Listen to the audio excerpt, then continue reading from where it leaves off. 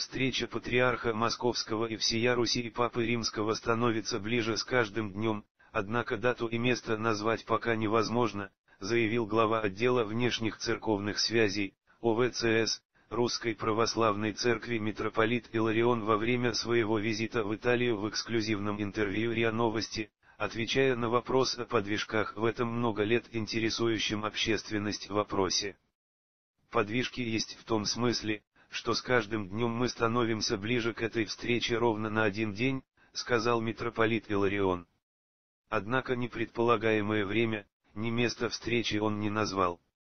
В ходе нынешнего визита главы ОВЦС в Италию встреча с папой Франциском не запланирована но в понедельник митрополит Иларион встретился с архиепископом Милана кардиналом Анджело Сколой.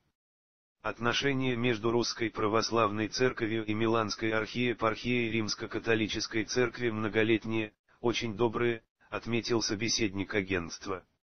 Вспоминаю, как много лет назад я сопровождал митрополита Кирилла, нынешнего святейшего патриарха, который здесь же в Милане, в этой же комнате встречался с предшественником нынешнего кардинала, знаменитым кардиналом Мартини.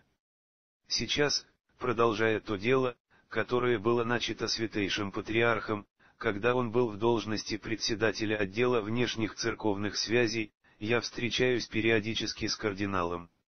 В прошлый раз я был здесь четвертого года назад, а второго года назад кардинал Скала был в Москве и встречался с патриархом Кириллом. Поэтому, думаю, что это те отношения, которые у нас развиваются на регулярной основе, сказал митрополит Иларион.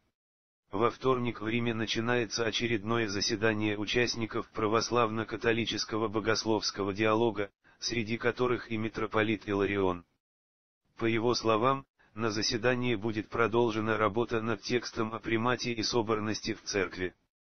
Этот текст пишется с большим трудом, и сейчас мы выходим на вариант, который, может быть, окажется приемлемым для обеих сторон, заключил собеседник агентства.